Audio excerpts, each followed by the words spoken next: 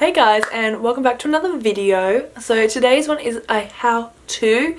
So I'm focusing on the lips tonight. So for today's how to I'm going to be showing you guys how to get fuller, bigger lips with only like three steps. So let's get to it shall we?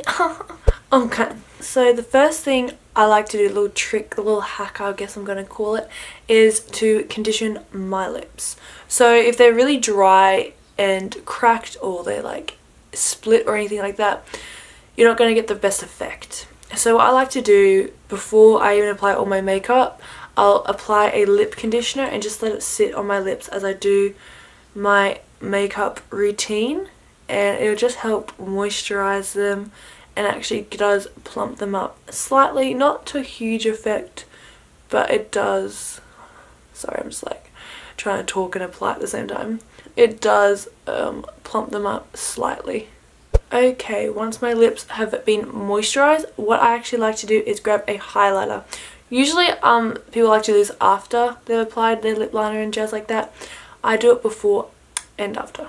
So depending on the day, what look I'm doing depends on the highlight I'll use. Today I'm going to use my Violet Voss um, Moon Gleam highlight from the Trio. And sometimes I'll go in with a brush, sometimes I'll just go in with my finger. And I'm just going to go over my cupid's bow and applying a highlight to this area is going to att attract light and make your lip look like lifted look more plump. And I'm also going to apply it to the center of my bottom lip as well. And just with that step it will just make your lips look so full. Ah oh, so good. Next is overdrawing my lips. Now I know you've probably seen this a million times. I actually like to use two lip liners because I'm just extra like that. So what I like to do first is go in with my natural lip liner from Rimmel in the shade 049. I like I just love this lip liner because it is basically the same shade as my natural lip colour, probably just slightly pinker. And I'll go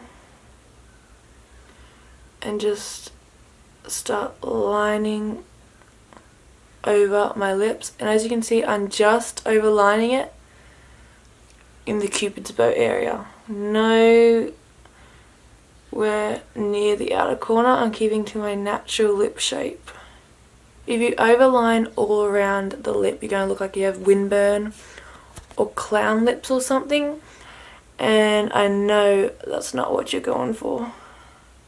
And on the bottom lip, I'll keep to the natural like fullness on the front. But I'll slightly like slightly, just a tiny little bit overline on the outer edges. Just there. And then I like to fill them in so that you can't really tell that I've just overdrawn them. Ooh, just like that. So you can leave it just with like a lip liner.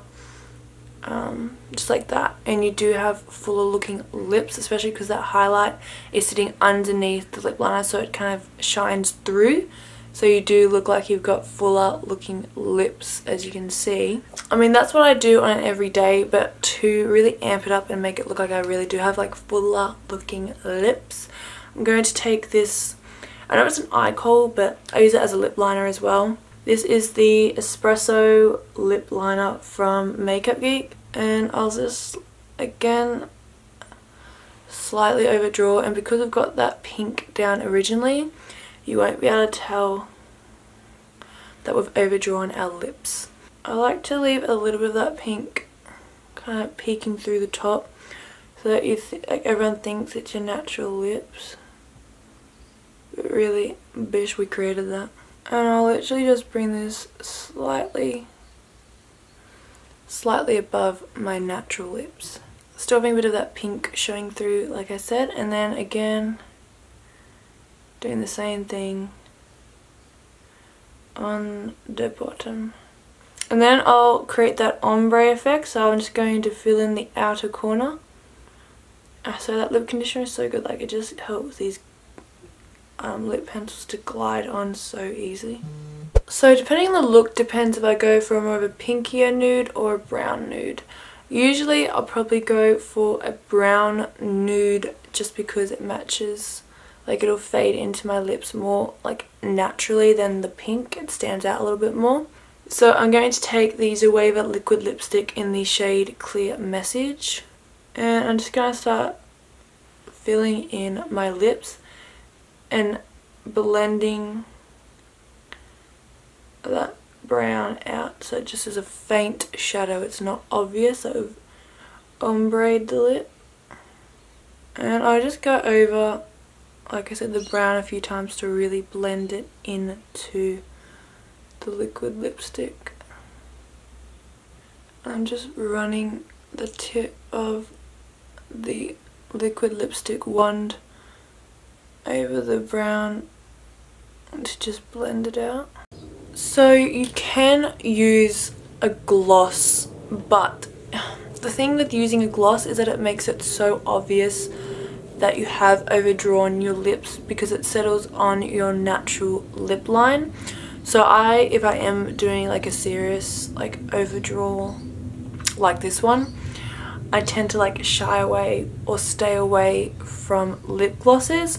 I mean, it's up to you at the, end of the, at the end of the day, but what I like to do to kind of mimic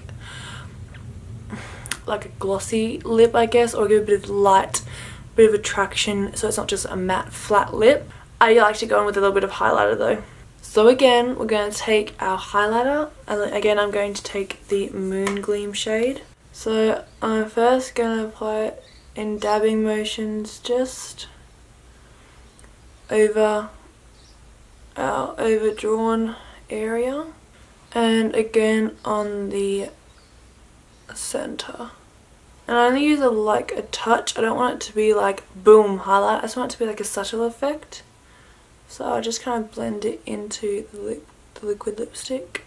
Just like that. See this is a little bit harsh still. I'm going to blend that in a little bit more. And there we go. You can just see it just makes your lips look a little fuller and a bit more like natural than just like matte and flat. So this concludes today's tutorial, my little how-to on how to get fuller looking lips, bigger lips naturally.